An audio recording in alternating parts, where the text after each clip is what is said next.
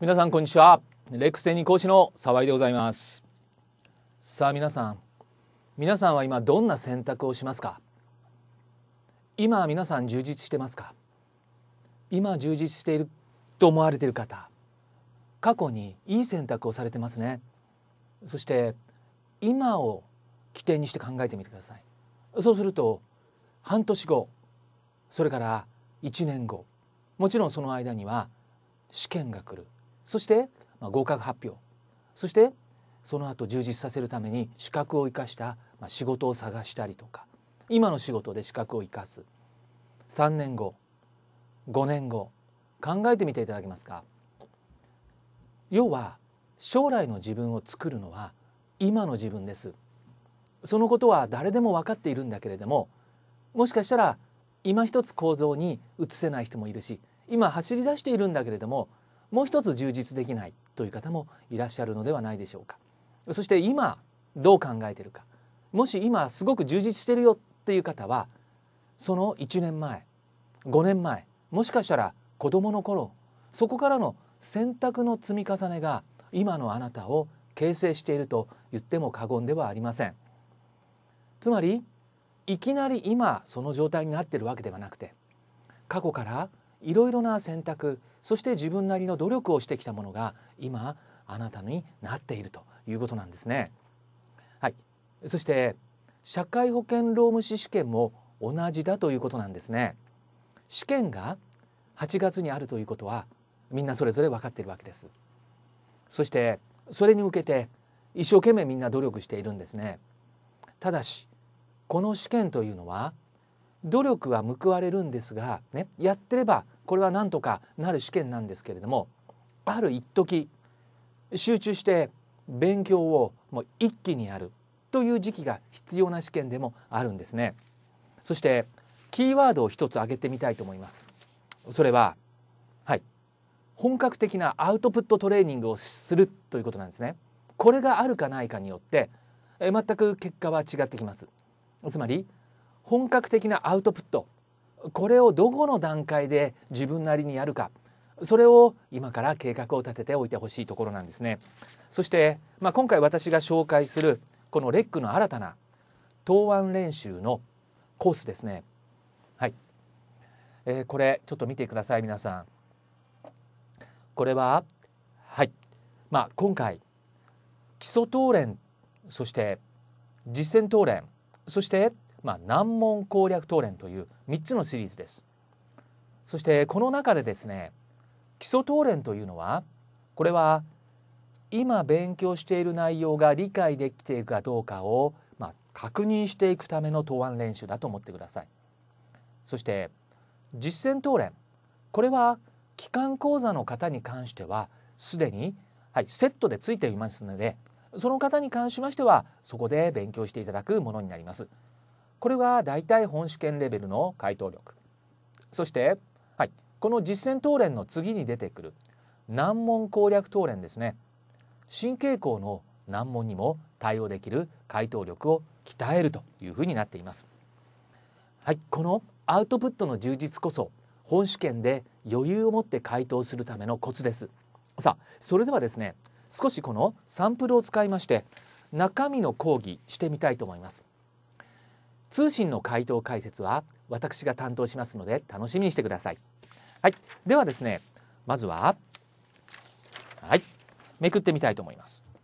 はい、これはサンプルでございますのでね、はい、1枚めくっていただきますと、はい、まあ、これ労働基準法ということで出てきますね。はい、えそうしますと、まあ、問題の方を映してみたいと思いますので画像を見ている皆さんですねよかったら一緒にアウトプットをしてみていただけますでしょうか。ではこれは基礎のはいサンプル問題になります。この中で正しいものはどれかという問題があります。では A から見ていきましょうね。A 賃金は原則としてその全額を支払わなければならないが労働協約に別段の定めがある場合にはその一部を控除して支払うことができる。はい。さあこれはどうでしょうかね。これは×ということになります。ここで見ていただきますと全額を払わなければならない、はい、一部控除。つまり全額払いの例外に関しましてはこれは、まあ、労働協約ではなくて、はい、回答解説に書いてある通り労使協定よって×ということになります。さあ今度は B ですね。賃金は原則として通貨で支払わなければならない、はい、通貨払いですね。労使協定がある場合においては通貨以外のもので支払うことができる。はい、ということなんですけどこれはどうでしょうか？はい、B はえ×ということになります。通貨払いの例外は労使協定ではなくて、はい、見ていただきます。ので、まあ、回答解説のところの2行目。労働協約ということになりますからこれも×さあ次ですね。今度は C ですね。C の問題。労働基準法26条に規定する。ここ休業手当というテーマですね。支払わなければならない。使用者の責めに帰すべき理由とは。企業経営者としての不可抗力である。旨を主張し得ない全ての場合を含むものと解されるため。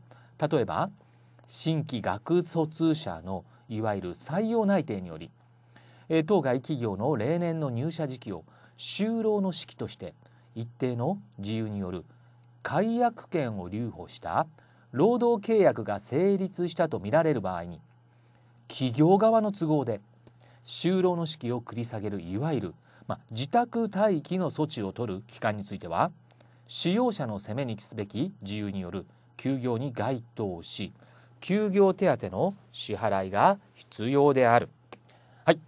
C がこれ正しいですね。はい、これ丸です。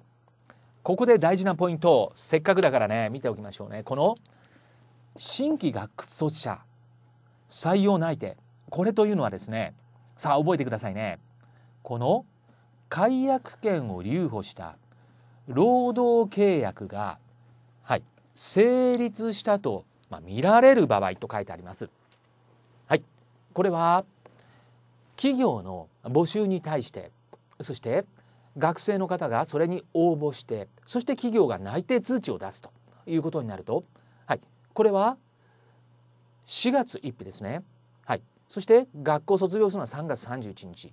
で内定が決まったということになりますと例えばその何ヶ月か前になるわけですね。で例えばねこの解約権留保というのはですよ。学生さんが卒業できなかったらこれは入社できないですね現実的には。はい、よってその場合は企業はこの労働契約解約できるかと。もちろんできますよ。だから解約権を留保した、ね、保留している形のこれは労働契約が成立していると。いうことになるわけですね。さあ次のペン、ね、問題見ましょう。D のところね。D に関しましては出来高払い請負で使用する労働者が使用者の責めに帰すべき自由によって休業した場合は労働基準法27条に基づく一定額の賃金の保障をしなければならずこの場合休業手当の支払いは、ま免除される。はいポイントはここね。使用者の責めに帰すべき自由によった休業なんだから休業手当は免除されません。そしてもう一個。1ヶ月を超える一定期間の継続勤務に対し支給される継続手勤続手当。毎月1回以上支払う必要はないが一定期間ごとに、ま払わなければならない。はい、これは×ということになります。毎月1回以上払いの例外、1ヶ月を超える。はい、臨時の賃金。はい、賞与。1ヶ月を超える賃金略して一丁賃臨賃賞与一丁賃は毎月一定期日払いそれから月1回払いの例外になっているということですね。はい、ということで、まあ、これらの内容がまずは基礎答例の内容です。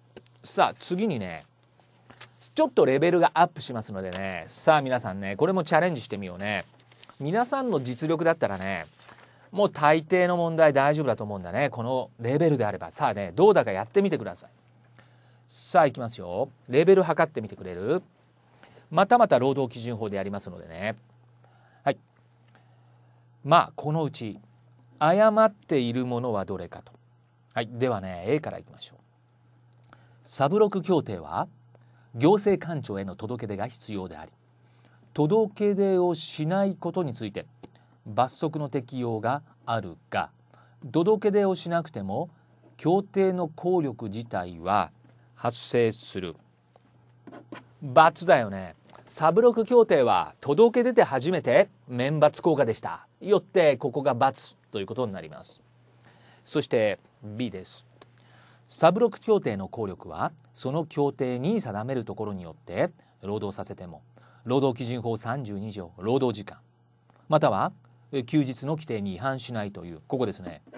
免罰的効力であり労働者のここ民事上の義務は、えー、当該協定から直接総ずるものではない大事な項目だ。そして労働協約就業規則等に労働者を労使協定の定めるところにより労働させることができる旨の規定を設ける等の根拠が必要となる。はいこれはね正しいですね。つまり労使協定でございます。サブロック協定ね。よって免罰効果なんですよ。ですから実際に民事上民事上というのはこの人は働かなきゃダメだよ。とね。義務が発生するということです。この場合は就業規則にまあ、定めが必要になるよ。ということですね。はい次行きましょう。今度は C ですね。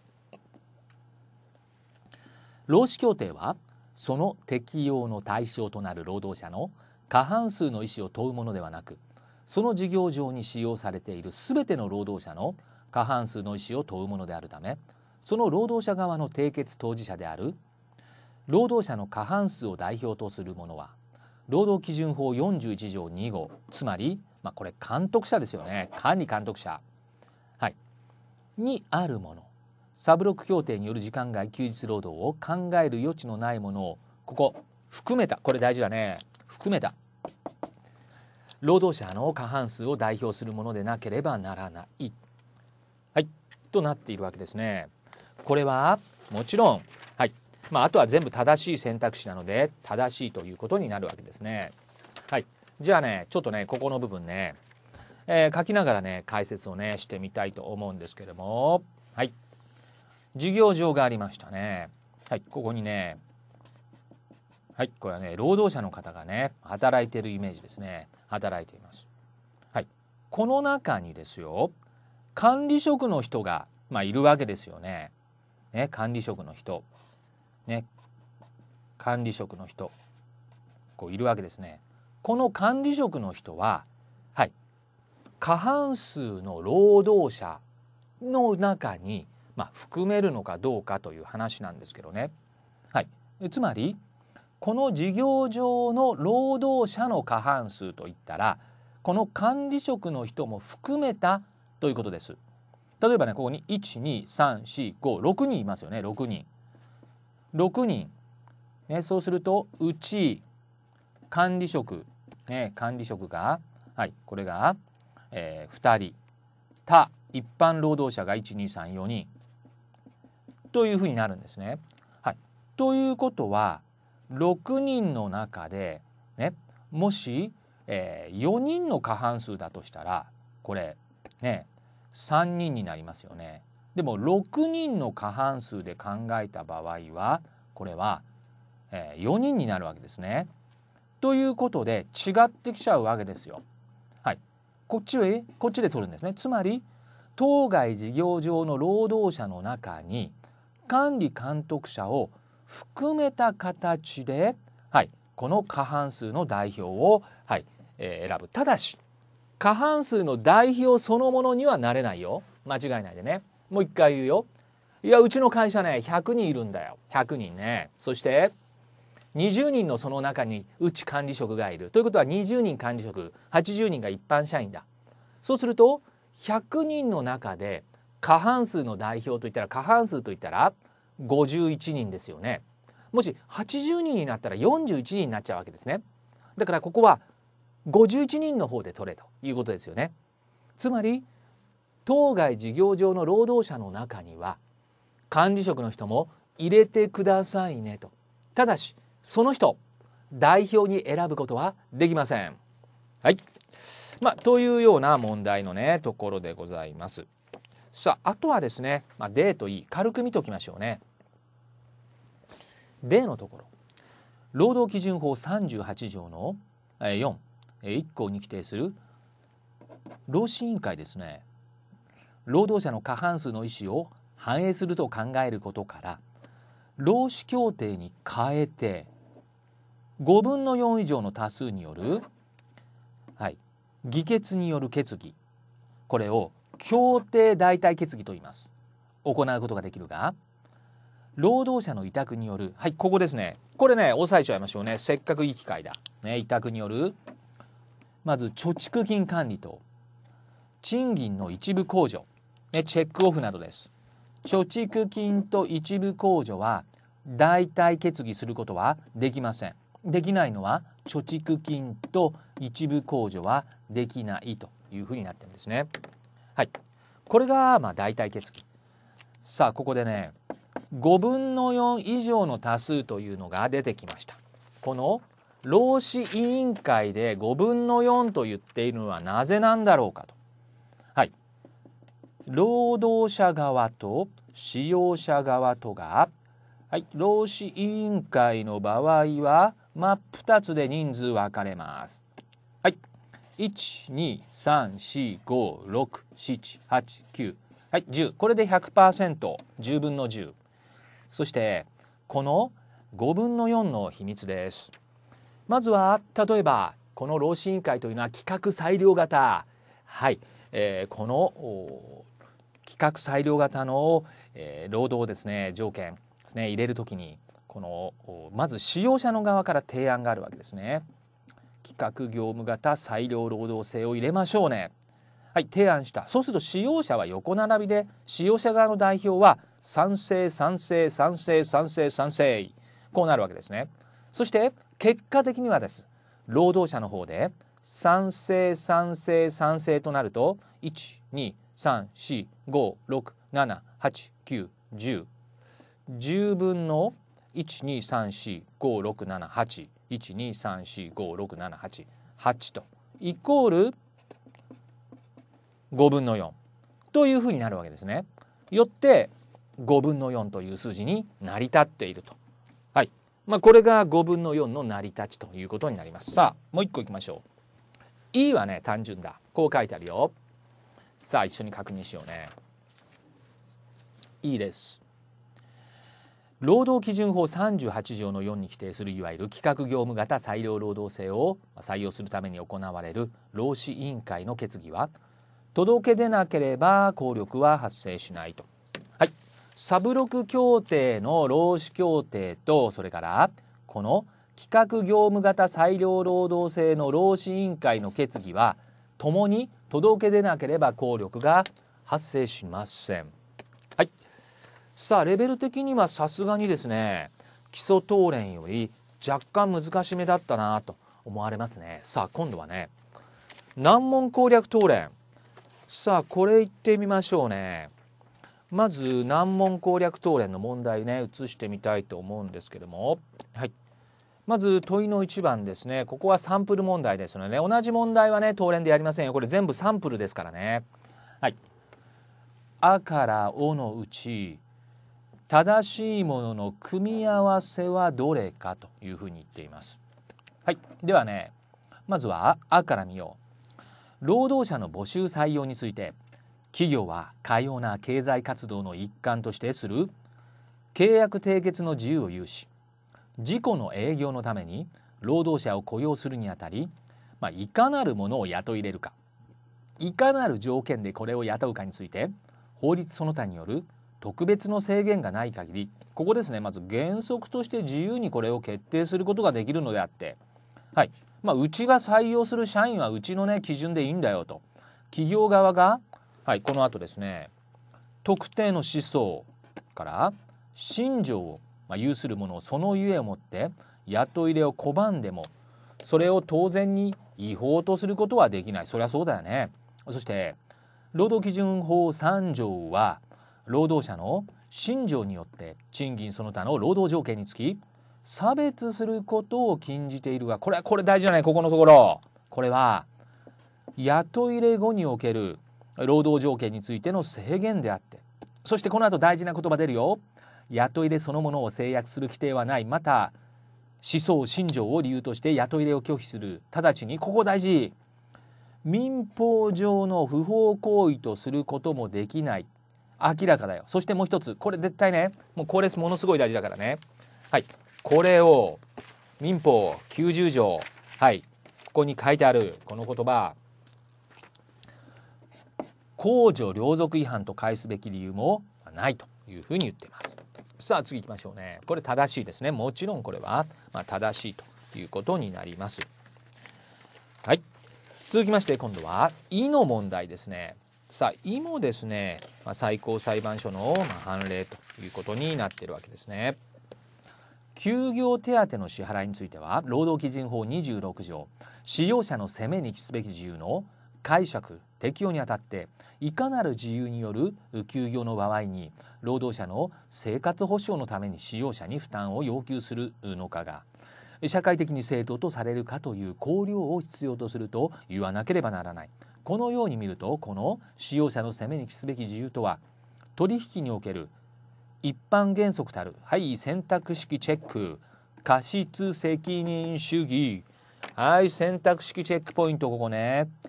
択一やりながらこういう場合選択もチェックとは異なる観点を踏まえた概念というべきものではあるが具体的な判断においては民法。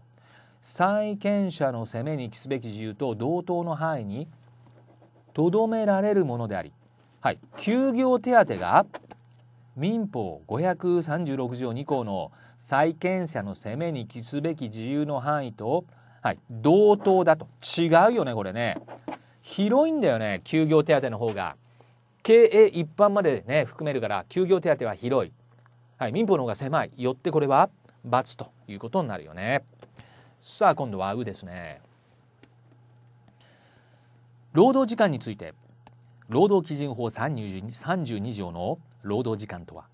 労働者が使用者の指揮命令下に、はい、この言葉はまあ分かると思うんだよね。穴が開けばね。指揮命令下。指揮命令下ね。置かれている時間を言い。この労働時間に該当するか否かは労働者の行為が使用者の指揮命令下に置かれたものと評価することができるか否かによりここですね。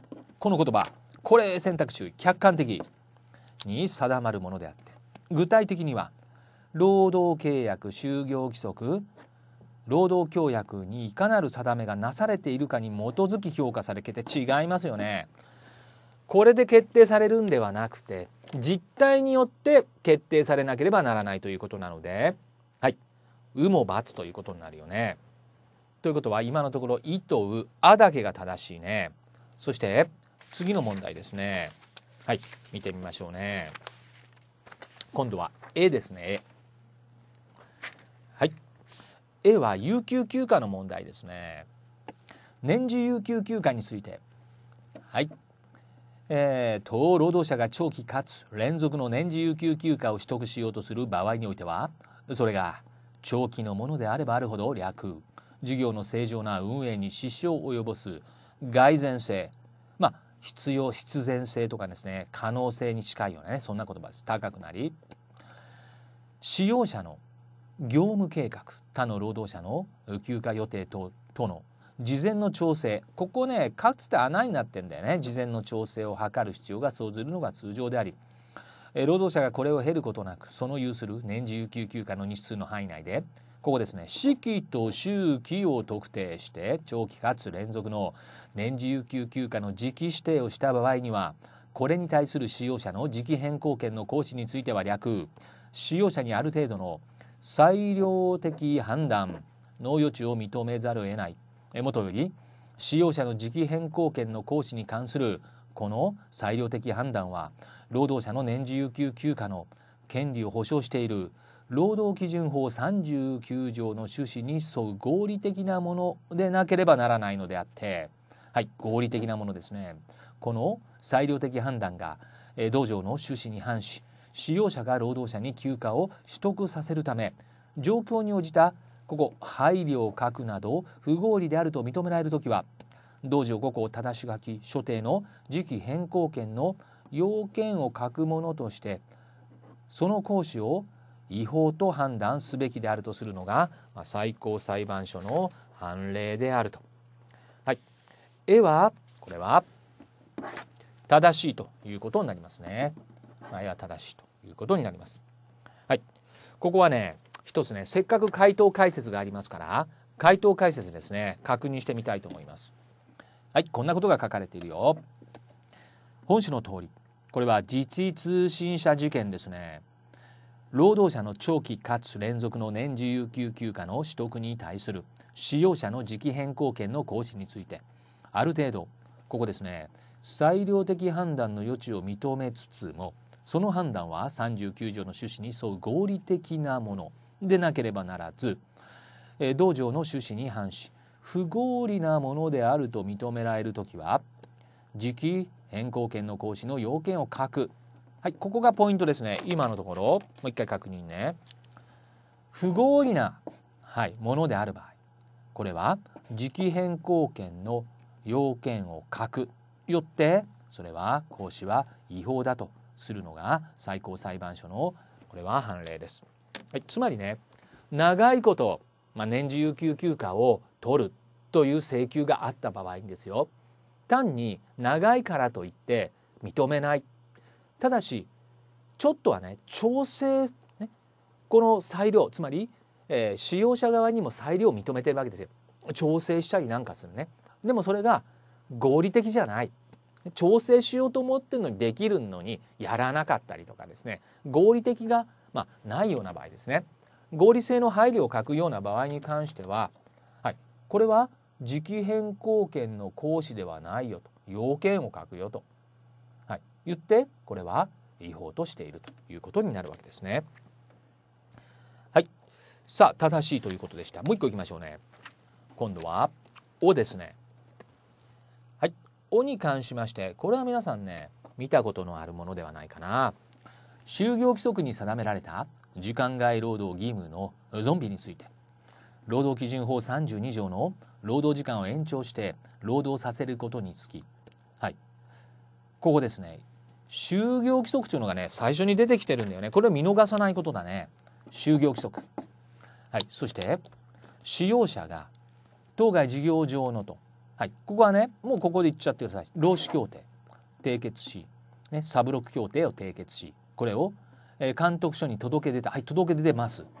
場合において使用者が当該事業上に適用される就業規則に当該サブロック協定の範囲内で一定の業務上の自由があれば労働契約に定める労働時間を延長して労働者を労働させることができる旨定めていたとしても当該規定が直接具体的労働契約の内容をなすとまでは言えないものでありというふうに書かれているんですけどもはいこれはですね×です。